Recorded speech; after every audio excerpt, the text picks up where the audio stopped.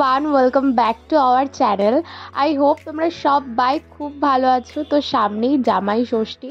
তো আজকে আমরা তোমাদের সাথে জামাই ষষ্ঠী স্পেশাল ইলিশ পাতুরির রেসিপি শেয়ার করব। আই হোপ তোমাদের ভিডিওটা খুব ভালো লাগবে। তো চলো without any further ado let's get start the video তো এখানে দেখো আমরা সর্ষে ভিজিয়ে রেখেছি। এখানে আছে টু টেবিল স্পুন হলুদ সর্ষে, এক টেবিল স্পুন কালো সর্ষে, এরপর এটা একটা গ্রাইন্ডিং জারের মধ্যে নিয়ে নিয়েছি।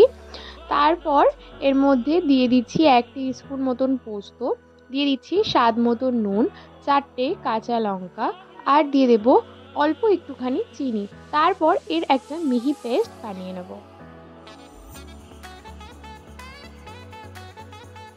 তো দেখো, পোস্ত আর সর্ষের মিশ্রণটা এখানে আমরা তৈরি করে নিয়েছি। এবার এর মধ্যে দিয়ে দিচ্ছি একটা গোটা নারকেলের থেকে অর্ধেক নারকেলটা এর মধ্যে দিয়ে দিচ্ছি। তোমরা এখানে নারকেলটা কুড়িয়েই দেবে। আর আমরা এখানে একটু কিউব করে কেটে দিয়েছি। এটা করলে একটু সময় লাগে। আর কুড়িয়ে দিলে অতটা সময় লাগে না।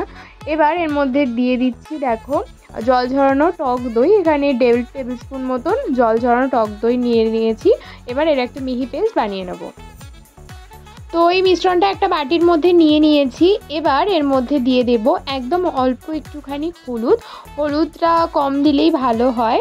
আর তারপর এর মধ্যে দিয়ে দেব বেশ কিছুটা পরিমাণে সর্ষের তেল। সর্ষের তেলটাও পরিমাণে একটু বেশি দিতে হবে। তারপরে দিয়ে দেবো ওই হাফ টিস্পুনের মতন লঙ্কার গুঁড়ো। তারপর সমস্ত মিশ্রণ খুব ভালোভাবে মাখিয়ে নিয়ে মানে সমস্ত কিছুর সঙ্গে ভালো করে সব কিছু মিশিয়ে নিয়ে এর মধ্যে ইলিশ মাছগুলো দিয়ে দেব।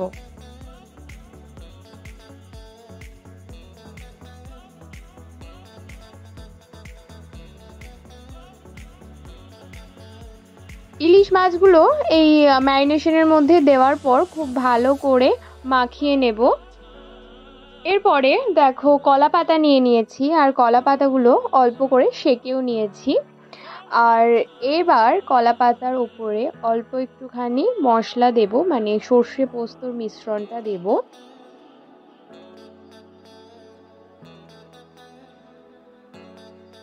তো দেখো, এরপর ওই মশলাটার উপর একটা ইলিশ মাছ বসিয়ে দিয়েছি, আর ওপর থেকে দিয়ে দিচ্ছি একটা পাকা লঙ্কা।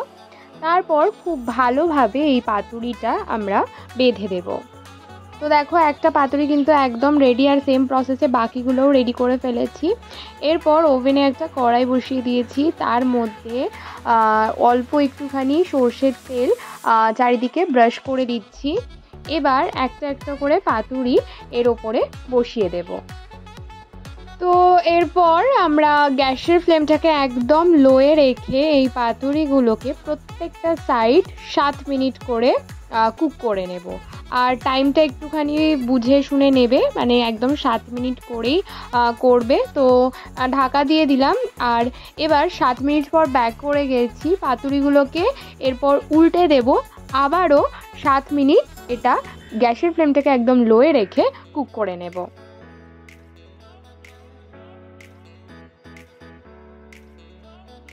তো সাত মিনিট পর ব্যাক করে গেছি আর ইলিশ পাতুরি কিন্তু একদম রেডি সার্ভ করার জন্যে। তো এই জামাই ষষ্ঠীতে অবশ্যই তোমরা এটা তোমাদের জামাইকে বানিয়ে খাওয়াও। আশা করছি ভীষণ ভালো লাগবে। তো আজকের ভিডিওটা এক পর্যন্তই। ভিডিওটা ভালো লাগলে লাইক কমেন্ট শেয়ার করতে একদম ভুলো না। আর আমাদের ফেসবুক আর ইনস্টাগ্রামেও ফলো করে দিও। যারা সাবস্ক্রাইব করেছ তাদেরকে অনেক ধন্যবাদ। আর যারা করনি প্লিজ করো। See you soon Bye bye!